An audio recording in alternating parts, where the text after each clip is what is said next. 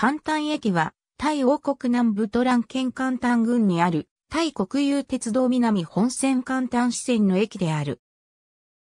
駅名標1913年4月1日、タイ国有鉄道南本線、関丹支線の一部区間開通により、開業。暇支線があり、かつてはセメント会社への専用線があった。また現在は使用されていないが、転車台がある。当駅は簡単支線の終着駅のため、蒸気機関車の時代に折り返し列車を蘇生する際に、その向きを変えるのに使用されていた。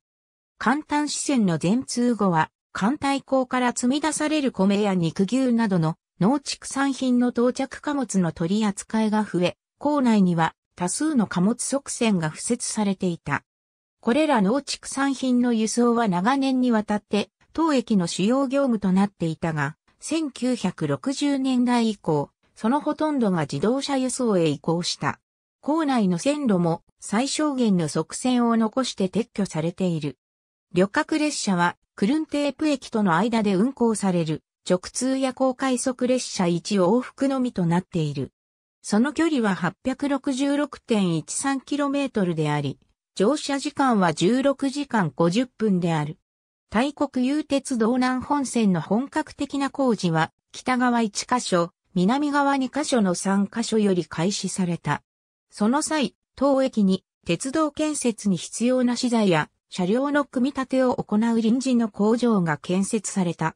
1913年4月1日に簡単駅不安用途駅が完成しそれに伴い、当駅も開業した。翌年の1月1日にトゥンソン分岐駅まで延伸開業したことにより、簡単視線はその完成を見た。単式ホーム一面一線の地上駅であるが、防線駅ではなく、側線を有しており駅舎はホームに面している。駅舎の色は黄色に近いからし色に塗装されている。ありがとうございます。